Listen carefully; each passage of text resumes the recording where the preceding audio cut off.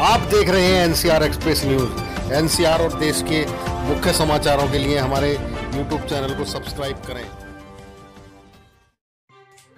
UP के मुख्यमंत्री योगी आदित्यनाथ ने कमिश्नरेट गौतम बुद्ध नगर के सेक्टर 108 के नवनिर्मित पुलिस आयुक्त कार्यालय के उद्घाटन के साथ साथ हरी झंडी दिखाकर 30 ट्रैफ़िक मार्शल को रवाना किया। इसके अलावा पुलिस हेल्थ ऐप का भी शुभारंभ किया।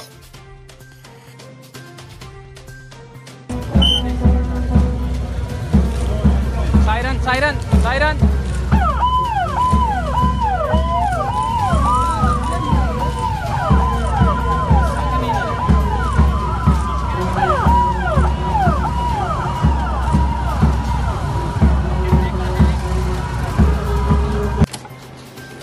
के अवसर पर मैं आप सबको जैसे बधाई देता हूँ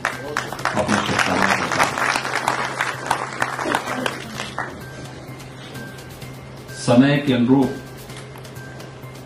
हम सबको अपने आप को ले जाने की आदत डालनी पड़ेगी।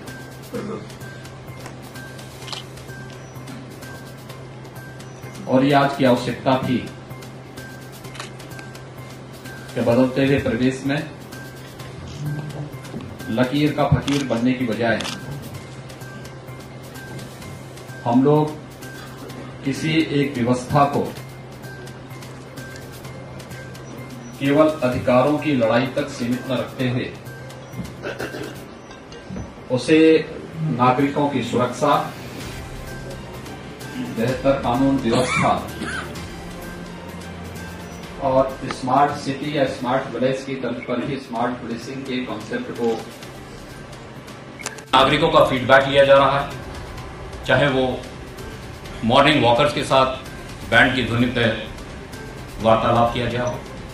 या ऐसी महिलाएँ जिनके पास कानून का कोई अन्य रास्ता नहीं है, उनको जाकर उनकी कानूनी हक और उनके अधिकार के बारे में बताया गया है।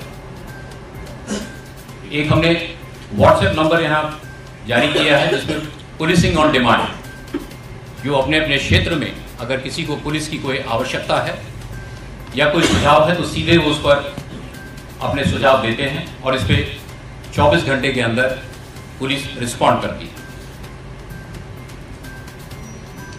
इसी संवाद के मध्य नोएडा में ट्रैफ़िक की समस्याओं का सबसे ज़्यादा लोगों ने बात की। अर्बन इंडस्ट्रियल कॉन्ग्लोमरेट्स में ट्रैफ़िक एक ऐसा नाइटमेयर है, जिससे हम सभी को प्रतिदिन रूबरू होना पड़ता है। हमारे YouTube चैनल को सब्सक्राइब करें और हाथ बेल आइकॉन दबाना न भूलें।